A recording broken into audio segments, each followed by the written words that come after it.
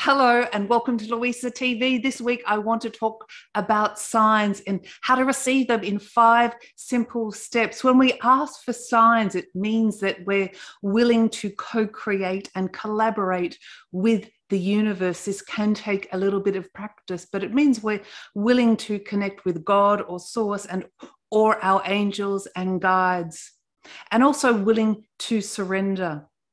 I'll detail this in five simple steps. Sometimes, when you receive signs, you think perhaps that might be a coincidence or chance, but I don't believe in chance and I don't believe in coincidences. I think everything happens for a reason. Before I give you the five simple steps, I want to share with you my signs just from last week that really showed me that I'm on the right track. So I'm back in Sydney for a couple of months, packing up my apartment and moving full time to France. This is so exciting, but like anything, any choice we make in life, particularly major choices, we always come into fear or a little bit of fear and question ourselves are we doing the right things?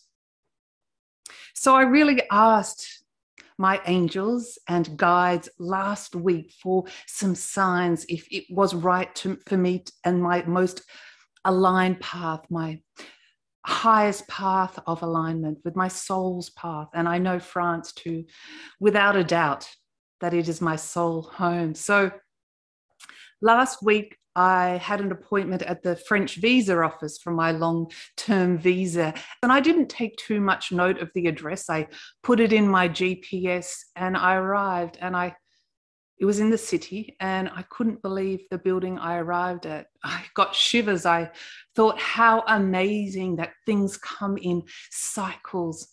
You see, I've talked about this before and how I first started Passion Harvest. I was in a outwardly successful life, living an outwardly successful life in a corporate office, but I was desperately unhappy and I realized I needed to change my life. It just wasn't working. And I got out of bed every morning weary and dragged my weary body to work. And what I started doing was going to the park across the road at lunchtime for 40 minutes. I thought, I'm not going to stay in the office. And I started meditating and I just five minutes at a time. But in case any of my co-workers saw me, I was so worried at that time. I was so filled, filled with fear of what other people thought. I would put my face to the sun and close my eyes. I was actually meditating, but I was pretending the sun was in my eyes. That's how afraid I was. And I remember once as I kicked off my high heels and sat in the on the grass, I looked down and there was a a gum leaf that had just fallen off the tree. And I took it back to my office and put it behind my computer screen, hid it so no one again would think how weird I was having a leaf in the office. But it reminded me of those moments of joy, of the happiest part of my days.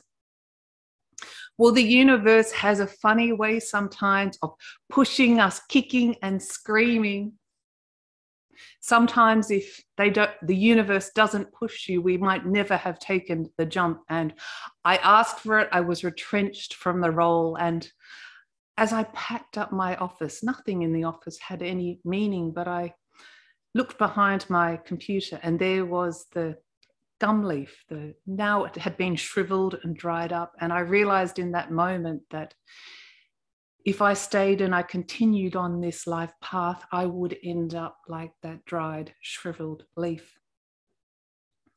And I was terrified, but I remember walking out of the office that day not knowing what I was going to do.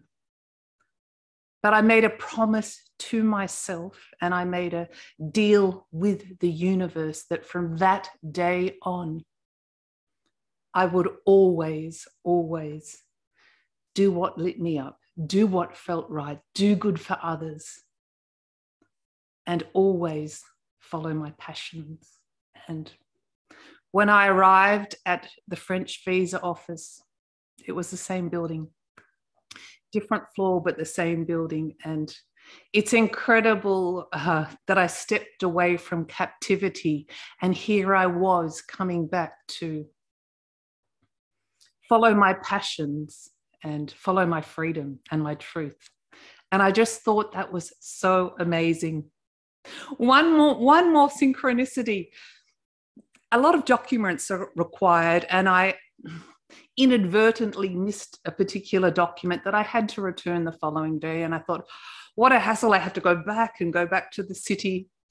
And I thought, again, just very momentarily, I thought, is this all too much hard work? And I put money in the parking meter. One of those old fashioned meters where you put the money in, or you can pay with a credit card and you get a ticket and you put it on your dashboard. Well, I couldn't believe it. I went to get my ticket out to put on my dashboard, and on top of my ticket was a, a, a $2 euro coin. I kid you not, I could not believe it. so they were the incredible synchronicities and signs and symbols that happened to me last week it doesn't always have to show up that big. But boy, last week was powerful to show me that this was the right path for me without any uncertainty and any doubt whatsoever. On another note, before I get onto the five steps, I've still got a few places left for my three month passion mentoring program. It's so exciting to share this and take this journey with you. It's a one on one, three month program. And I will be like delighted to work with you. If you want to find out more, I'll put a link below in the show notes or head on over to the Passion Harvest shop page on the website for more details or the contact page. You can always contact me through that on the website. So, how to receive signs from the universe in five simple steps? Well, the first one is get clear on what you want, specifically your guardian angels and your spirit guides cannot help you along the way as much unless you're really clear for yourself on exactly what it is you're asking for.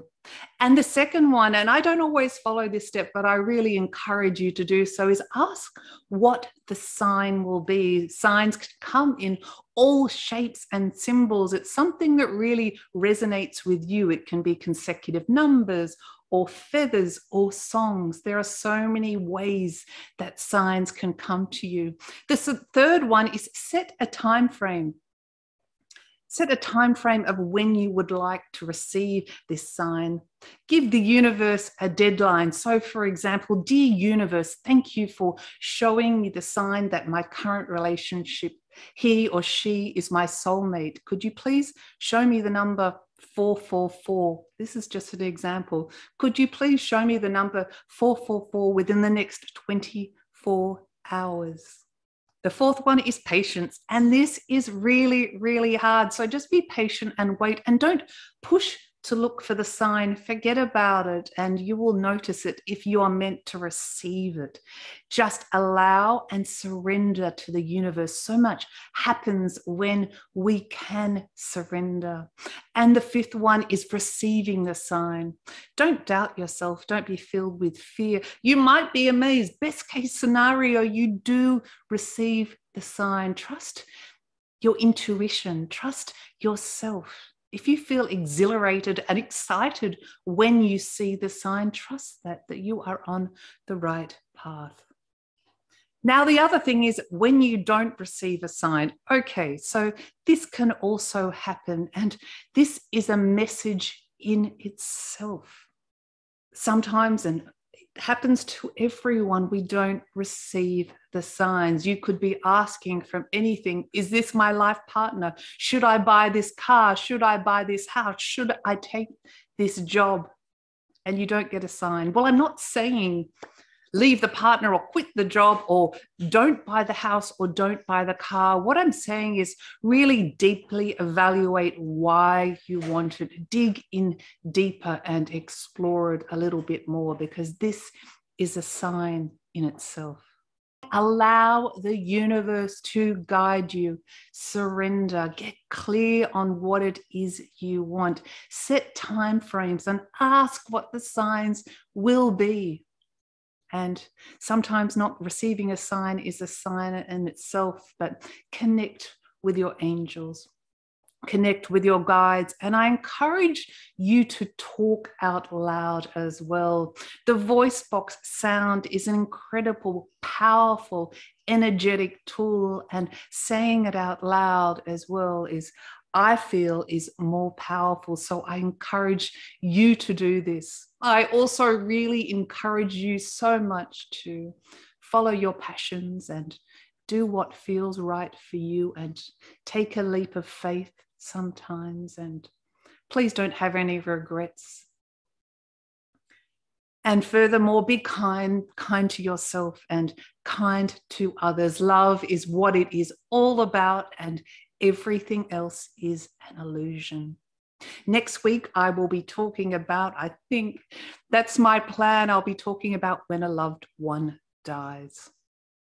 I've got an incredible episode coming out this weekend. I can't wait to see you there. I'll see you this weekend. Lots of love. Follow your passions. Bye for now.